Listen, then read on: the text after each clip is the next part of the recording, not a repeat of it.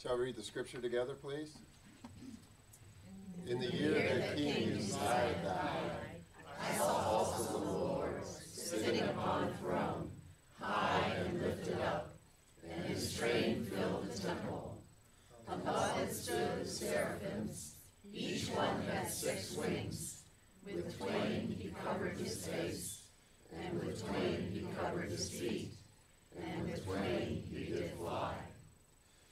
One cried unto another and said, Holy, holy, holy is the Lord of hosts.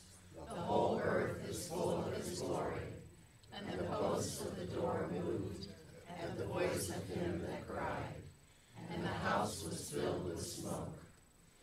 Then said I, Woe is me, for I am undone, because I am a man of unclean lips, and I dwell in the midst of people of unclean lips. For mine eyes have seen the King, the Lord of hosts. Then flew one of the seraphims unto me, having a live coal in his hand, which he had taken with the tongs from off the altar. And he laid it upon my mouth, and said, Lo, this hath touched thy lips, and thine iniquity is taken away, and thy sin purged.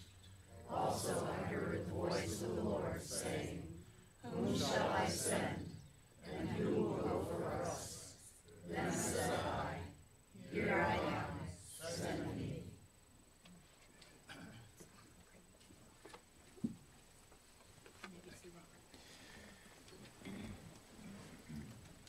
I'd like to say a prayer for Chaplain Kevin. Thank you. Dear Heavenly Father, we're just grateful for this gathering today. We're so thankful that Yes. the chaplain could join us. We pray for traveling mercies on his return to North Carolina. And we just pray that his words today would resonate with each and every one of us. And may your message and your words be glorified. In Christ's name, amen. Amen. Thank you, sir. Good morning. Good morning. I said to many up here, you're a happy and hugging bunch. I like that. If you didn't get your hand shaken or you didn't get a hug, it's it's not the body's fault. God bless you. Um, David, King David said, "I was glad when they said unto me, Let us go into the house of the Lord." Did your heart skip a little bit when you came in here today? You knew that you made the right choice to get out and come on out to the fellowship of God. Amen. That's good. I do not have a southern accent. I've been down there 30 years. So don't give me this, you changed and you sound like a hick and all that. No, don't do that to me.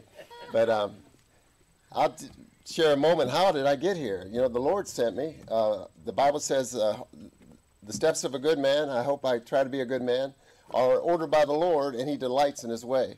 So I'm sitting in my backyard in Salem Lake, uh, backyard, nice fire pit there, no fire, one Sunday afternoon, and I'm looking up, and I, I saw this red-tailed hawk circling.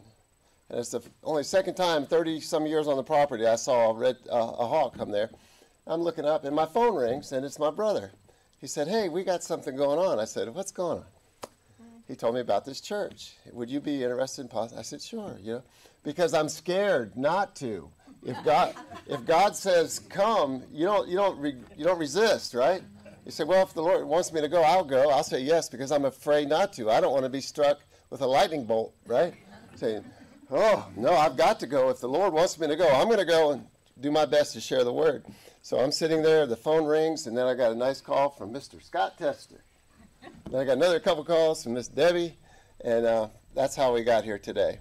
But who is Kevin Winemiller? Kevin Winemiller is the sinner saved by grace. And I want to tell you, I ran headlong into my Methodist grandmother, Winnie Birdie Winemiller, who received Jesus Christ as her Lord and Savior in 1913 under the preaching of a Methodist circuit rider. Whew! If if that don't ring your bell, your clacker's busted.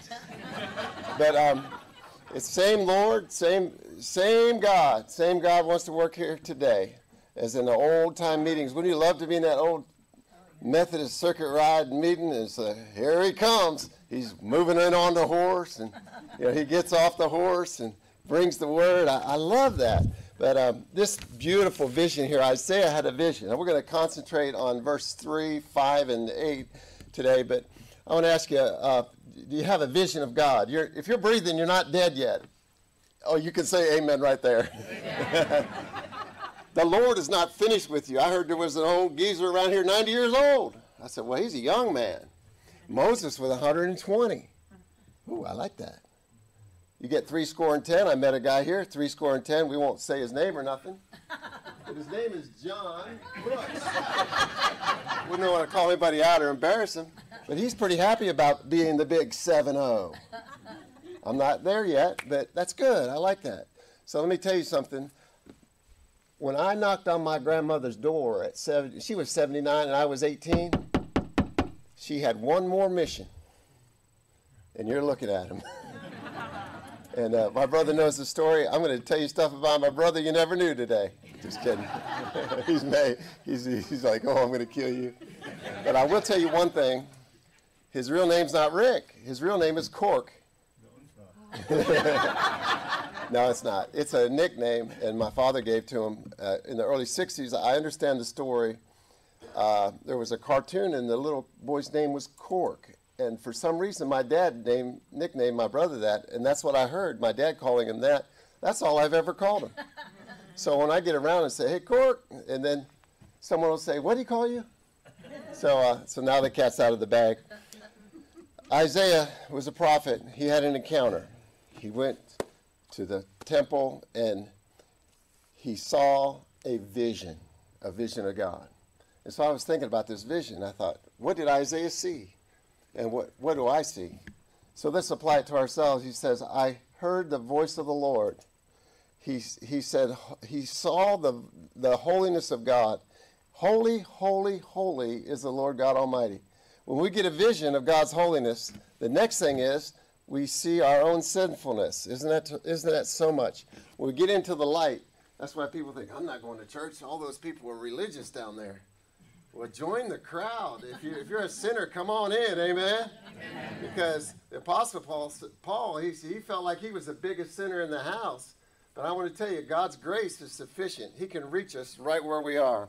So here's Isaiah here. He says in verse 3, he says, um, I got to use my glasses. I stood up and uh, um, one time and didn't have my glasses on. But I love this here in verse 3 in Isaiah 6. Holy, holy, holy, he says it three times. Holy, holy, holy is the Lord of hosts. The whole earth is full of his glory. The first thing Isaiah saw was the holiness of God. That's good. He recognized that God is holy. He said, Be holy, for I am holy. He saw God's holiness. Holy, holy, holy. And then look in verse 5, he says this Then said I, Woe is me. Do you see Isaiah maybe just trembling here a little bit and shaking and at the presence and the holiness of God? Woe is me. He didn't look at his, his brother and say, Look at that sinner. He didn't look at his sister and say, Look at that sinner. Oh, I'm supposed to be remaining stayed, but sorry, guys. I'm not supposed to walk around. I'll try to remain in this position. Isaiah saw the holiness of God. Isn't it good you can have a good time in the house of God? Amen. Isn't that good? You don't have to come in here all tight. You know, this is good. You can be free in the house of God. Isaiah saw God's holiness and then he saw his sinfulness. He says in verse 5, I am undone. I'm a man of unclean lips, and I dwell in the midst of a people of unclean lips. And he said, For my eyes have seen the King. Someone say, That's good. That's good. My eyes have seen the King, the Lord of hosts. Then the, this spectacular display with the angels and the, and the fire off the altar. And then in verse 8, he says, Also I heard the voice of the Lord saying, Whom shall I send? Who will go for us? So here's the natural response. What do you see? Well, Isaiah saw a vision. He saw a vision of the holiness of God. And the first thing that hit him was his own sinfulness. When you get a glimpse of God, when you get in his word and you realize through his spirit, you are broken. Jesus Christ came to the earth to seek and to save that which was lost, and that would be all of us.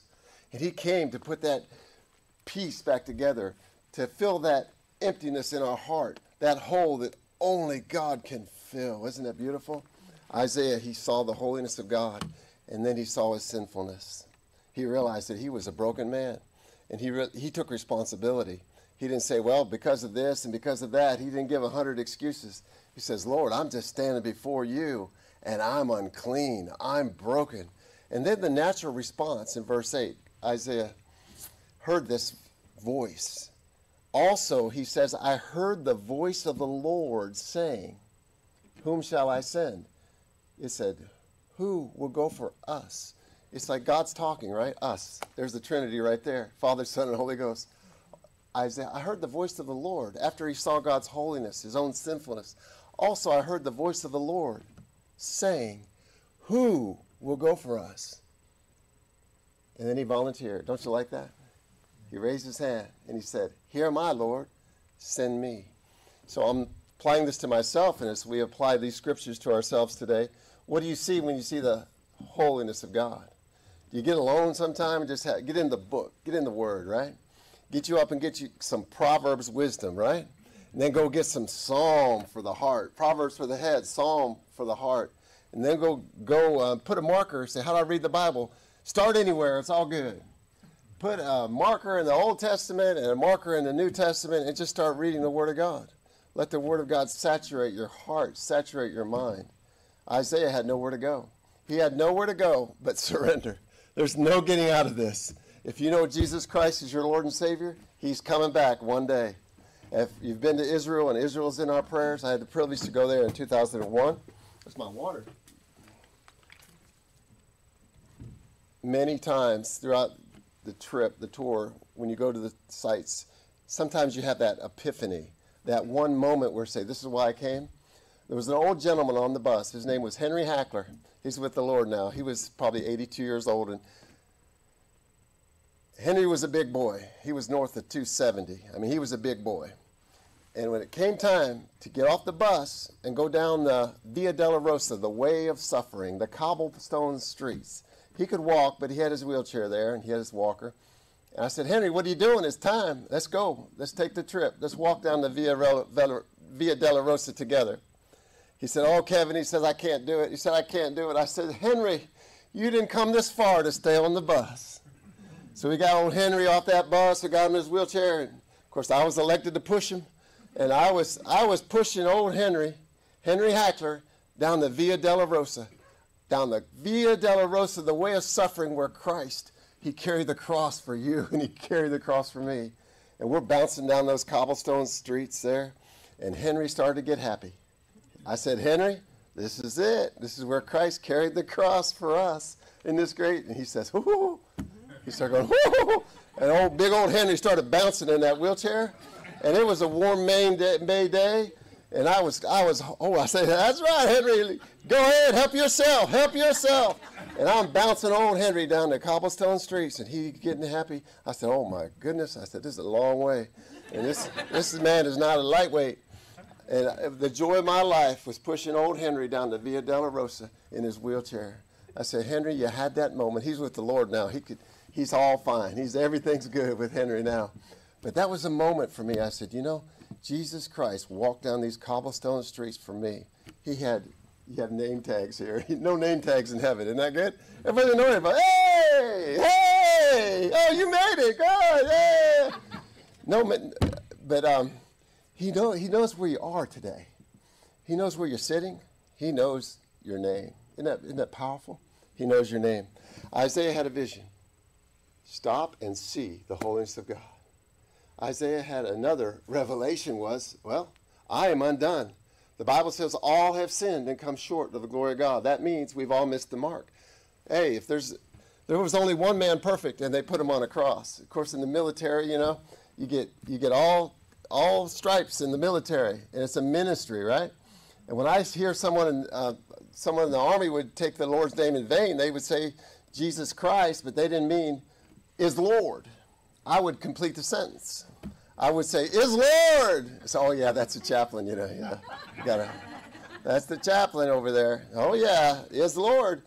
Don't take my Father's name in vain. that's right. Jesus Christ is Lord. Isaiah, he had a vision of God. He had a powerful, like uh, life changing. It might be not that dynamic for you, maybe when you got alone one day and you realized you were a sinner, that Christ died for you and rose again, and you made that commitment to Him. You might have been four or five years old in a Sunday school class when that Sunday school teacher shared with you the love of Jesus. You said, I want some of that. I want to put my faith and trust in Jesus Christ.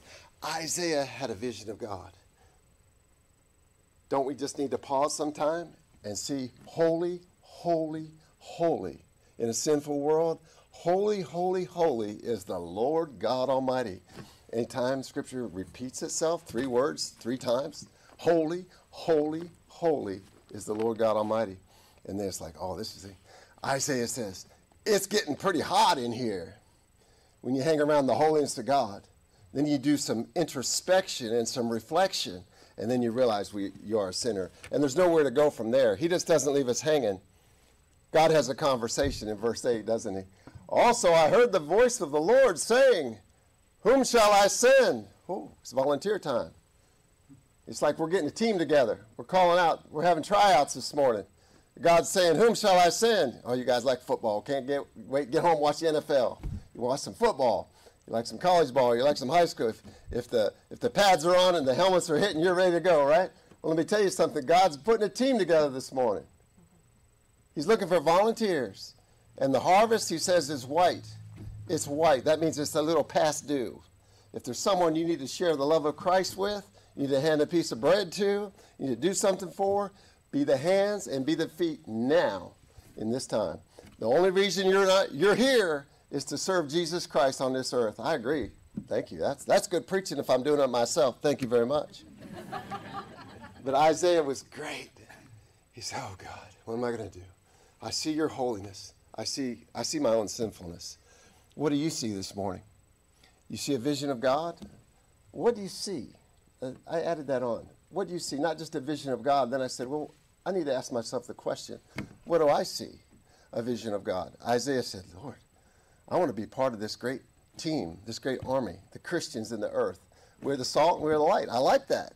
Salt and light. That's good. Salt, it uh, salt is like adds flavor, right?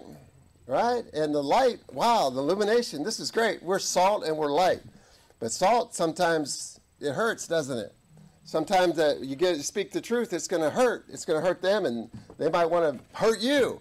But the salt and the light, you go around like with your salt shaker. Oh, little salt shaker, little salt shaker. Pour a little salt here, put a little salt there, and let that light shine. In Bible college, I was really into it. You know, I memorized probably um, a verse a day the first two years I gave my life to Christ.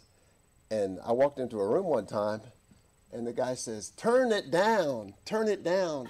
I said, What are you talking about? He says, Your face is shining. Turn it down. I said, No, I'm just trying to shine the light. I'm shining the, the light over here. And they're like, Oh, turn it down, turn it down. Wouldn't it be great? You walk, What's going on with you? Well, I want to tell you something. I'm not on drugs this morning. Amen? Amen. There is no high like the Most High. Right. What you see here is all natural. hey, yeah. God has been good to me. Um, Isaiah, he saw God's holiness. He saw a vision of God. What do you see this morning? Everybody's awake. Nobody's sleeping. That's good. That's good. Do you see your own sinfulness? I humbly ask you, after you see God's holiness. And then verse 8, oh, he, he couldn't get out of it. Coach was ready. God, he was recruiting. Whom shall I send and who will go for us? Pause. Isaiah is listening to this conversation of the Trinity calling, calling. Who will go for us? And can't you see Isaiah busting in the conversation? Say, Hear my Lord! Send me. Wow. Send me. I want to tell you a little story about a guy I grew up with. Can you flash that on the screen? This guy's name is Derek. Derek and I grew up together. We were close. Derek had a great home and he had a great family. He had everything he needed. But Derek made the wrong choices. You can see the pain in his face. What do you see in that face? You see pain? Somebody tell me, what do you see? Loneliness? I'm supposed to not move? Excuse me. You're fine. You're okay there. Thank you.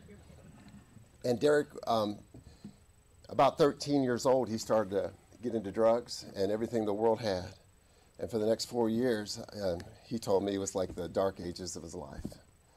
Um, had everything, had a wonderful home, had all the food he needed to eat. He had a nice bed, great mom, great dad, great family, sibling. But Derek got off the path. He got off the path. Some of your grandchildren may be like Derek. You're praying for them, right? And my dear grandmother, Winnie, Winnie Birdie Winemiller was her name. Isn't that nice? Winnie Birdie Winemiller, born in 1900, accepted Christ in 1913. Winnie played the accordion. How cool is that? Oh, Winnie playing that accordion. Awesome. And Winnie could play the piano, and she was like royalty. Winnie, I mean, when there was an event, Winnie had seven children, one of them our father, five boys, two girls, and raised seven children through the Great Depression. Can you imagine? My dad was born 28, all the kids were born, bam, bam, out right away. Winnie's husband, Raymond Winemiller, was born in 1896, going back about three centuries here. He was a World War I doughboy. That was Raymond. And a Pennsylvania coal miner. And he was a scrapper. And uh, Winnie, Winnie got everything, she got him in line, shall we say. Winnie was tough. Everything in her house was perfect. Knickknacks, no dust, everything was perfect. And one day, this guy, Derek, oh, I didn't tell you. My first name's Kevin. My last name's Winemiller. Does anybody want to guess my middle name? You don't, you don't count. Did you figure it out? That's me. At 17 years old, Jesus Christ can change your life. Jesus Christ can take a dope smoking hippie, a rebel, a sinner. Woe is me, like Isaiah. Where do I go from here? He can take a sinner like that. You see the confusion in that face? That was 17 years old. You don't want to. You don't want to meet that guy. You don't want to talk to him. No, it wouldn't have been good. No, rebel, rebel. That picture was a, from a track as a freshman in Bible college called "Putting It Together." Though your life is the wrong uh, pieces, your life this morning may feel like a bunch of pieces, and that's what the world is. There's, oh, I got a piece here. No, only Christ can put it together. And I have some of those tracks. Putting it together. Only Jesus Christ can take those pieces. If any man be in Christ, he is a new creation. Old things are passed away. Isn't that beautiful? All things become new. Jesus Christ can make you brand new. Isn't that, isn't that sweet? Isn't that precious? Jesus Christ can take a lost sinner like Isaiah and like Kevin Derek Winemiller. I had you going, didn't I? Did I, have you go? I can only tell that story once here, so I can't use it again. but I was gonna, I'm messing with you a little bit. But um, I had everything I needed and chose to go away from my home and to do what, what the world says you need to do to be happy. And I'll tell you, only Jesus Christ equals J O Y, joy. Scripture says joy, joy unspeakable and full of glory. There's nothing like the fellowship of the house of God. Go ahead and bring yourself in here hurting. Bring yourself in here broken. Let Jesus be the medicine for your soul. That's good. I like that. Isaiah said, Who? He heard, Whom shall I send? Who will go for us? Here, my Lord, send me. So now it's like we've recruited. We've seen the holiness of God. We see the sinfulness of ourselves. There's nowhere to go except to Him. Here, am I, Lord, send me. 15 years of hard time. United States Army. I loved every minute of it. As a chaplain, you don't look, you don't look too, uh, too nervous. I said, well, I'm just praying. Getting into the bunker, and there's uh, 13 other people, and it should be like six in a bunker when the mortars are coming in. Yeah. Everybody's praying. I didn't find one atheist in that foxhole. it's amazing. And I didn't say I couldn't get in there. Uh, there's a black guy in there. I can't go in there. I was diving in. I say, oh, there's a, there's, a, there's a Mexican, I can't go in there. No, we don't look at it like that. Red, yellow, black, and white, he is, we are precious in his sight, amen? amen. And uh, I, I, I, had some great experiences in, uh, as a youth pastor, 39 nationalities in our church in Paterson, New Jersey, three years. What training. and I was a white boy from Ohio. I said, "Hey, what's that? That's that's lunch." Oh, okay. Let's eat. Time to eat. But um, Jesus Christ can take all that evil and all that hatred and all that prejudice away. Isn't that beautiful? And then you're going to realize, like Isaiah, I'm just a sinner like everybody else. Just come on in, join hands. I appreciate what you're doing here, Rooted in Christ Fellowship Church. That's a good name for a church. Absolutely. And I'm just one coming along today to encourage you. Say, you're not done yet. This is not the, this is not this is the beginning. I told one of your your folks here, I said, this church is like a new baby. Woo! Your little baby, take a little baby, you want to go and show it off, right? Oh, look at you got one baby and you got 14 women following the baby, you know. Everybody's carrying something and it's like, woo! This is exciting what God's doing here. And I know you're talking. I know you're talking. The Lord uh, kind of moved you down the street and said, I'm not done with you yet. That's good. I'm starting to get glory bumps on my on my goosebumps this morning. Go ahead. Go ahead. Lord's got something for you. Go ahead and volunteer. Get a vision. What do you see? A vision of the holiness of God, of your own sinfulness. Deal with it. And then surrender. It always leads to something. He just doesn't say, hey, you know, I, I'm going to call you and just have a seat. No, just have a seat for a little bit. Now get up and serve, right? Your hands, your feet, wherever your sphere of influence is. And by the grace of God, folks, the Lord has allowed me to take this message of the cross to 58 countries, to God be the glory, and share the gospel of Jesus Christ. I will tell you, the message is powerful. The message is strong. The message will not fail. Isn't that beautiful? What do you see this morning? Let's all get a vision of the holiness of God. God bless you.